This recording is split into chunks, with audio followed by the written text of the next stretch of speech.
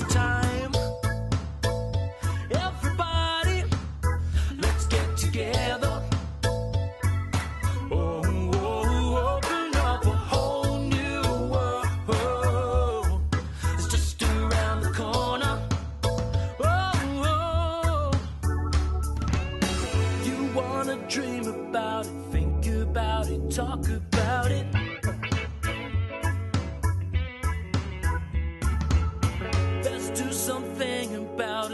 That you can shout about it.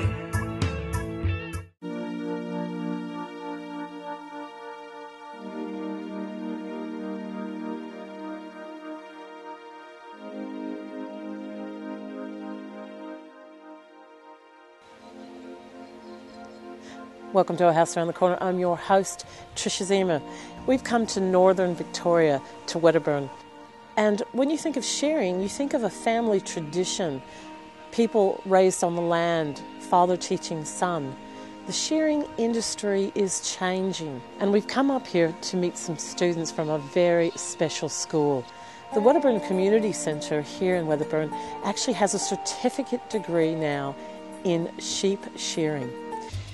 We're going to be speaking to Dick and some of the students about their amazing journey over the last nine days and a celebration tomorrow as they graduate at a little Learn Local organisation just around the corner.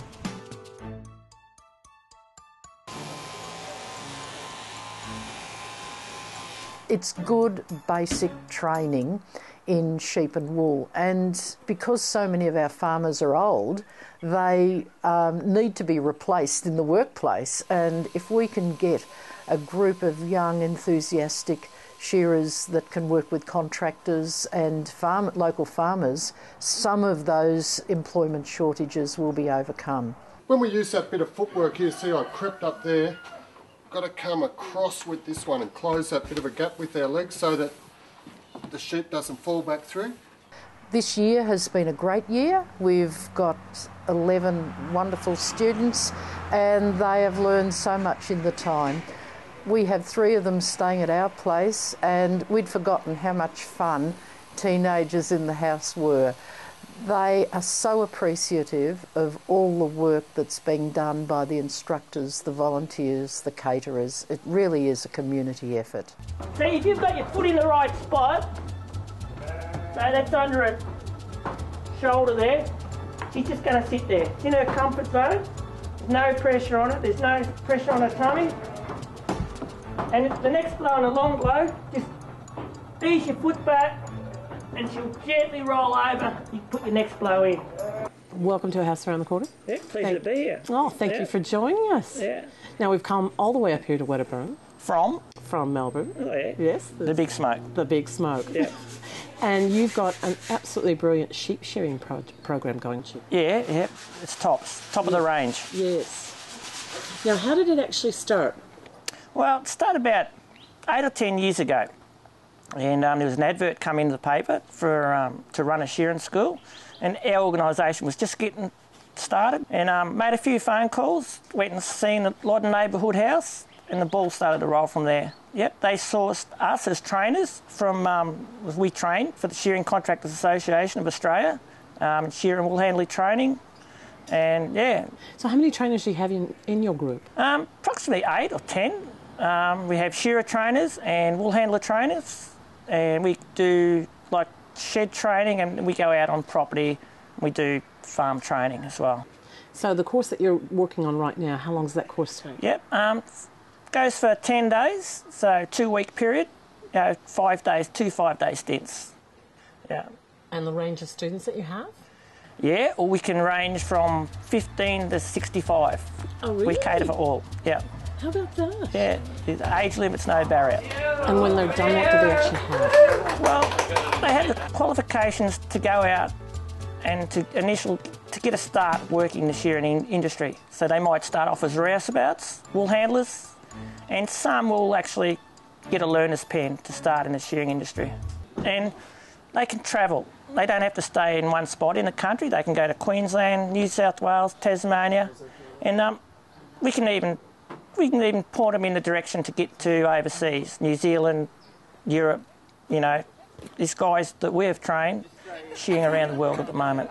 So, how many kids have come through this Learn Local organisation overall? Just at this location, Wedderburn, would have trained over 130. The types of skills that you train them, what's, what's the full range? Well, we talk about, we have OHS, workplace communications, how to, animal welfare, how to set up their machinery, grind their combs and cutters, shear sheep to, to novice level, and Cert 2 in wool handling. Okay, after the fleece has been skirted and rolled, the class then um, will examine the fleece and make an assessment of it. And the sort of things I'm looking for as to whether it's got a good staple strength. And I'll do that by, by pulling it and giving it a flick with my index finger. And what we're uh, trying to ascertain there is whether it will withstand about seven to nine pounds pressure. After I've done that and it's sound, the sorts of things I look for is the colour, whether it will scour out white, and that one will. I'm also feeling the wool for the softness so I can estimate the micron of the wool. Shearing school runs on normal shearing shed hours, so 7:30 in the morning till 5:30 in the afternoon.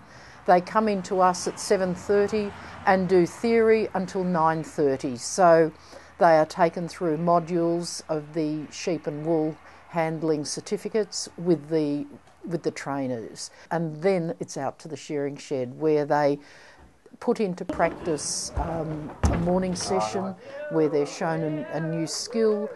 They then are worked one on one, um, perfecting the technique they've learned. So then the afternoon is a long afternoon of shearing and learning wool handling skills. So it's um, by the end of the day, some of them will have learned um, a lot of shearing techniques. There are others who will end up working as rouseabouts in shearing sheds, and they are practicing the, the shed skills. But by the end of the time, all of them are expected to be um, competent in all aspects of um, shearing. Yeah, I love it. Met some good people and learned a lot, and I'm loving it. What's been your favourite bit? Um, well, shearing, that's pretty good. Um, I like penning them up too, and just yeah, having a good time really. Your dad's idea for you to come along, was there a reason why? Yeah, we've got a farm at home and we do a fair bit of shearing. It's easy if we can do a few here and there instead of having to call shearers in all the time. Oh, there's a lot of teamwork. There's so many things going on, people helping you here and there, and there's just a lot to do in shearing shed. Very, very interesting group this year. They come from middle of Melbourne to the back of Bourke. They're a long way apart and they're all very, very keen to try and learn, which make it very much easier for the instructor. Well, we're at the celebration, the final celebration for the kids. They're graduating from their shearing course. We're here with Gavin Holt, who has um, very kindly donated all the sheep to be sheared, haven't you? Yes. But more than that, this has been a brainchild of yours for many, many years, hasn't it? Oh, not, not just not, just mine. It's been a, a, a community effort, but certainly I think it was in 2003 um, we, we started the shearing school. I think this would be the tenth one that we've run because um, one year we did have um, we did have two in one year, As, and, and, it was in response to the fact that there were uh, insufficient shearers in Australia to um, to shear the sheep flock. And so it became we got an opportunity through a learning program at the local community house to Mm-hmm. get some funding to run this shearing school. Um, and this this is a quite a handy property to run the shearing school because it's on the main highway it's close to the town it's um, it's quite a convenient shed and so we've, we've run every school here and we're very proud of the fact that um, we've put a number of shearers out into the Australian shearing industry. The Wedderburn Community House runs a lot of facilities and services for the local community.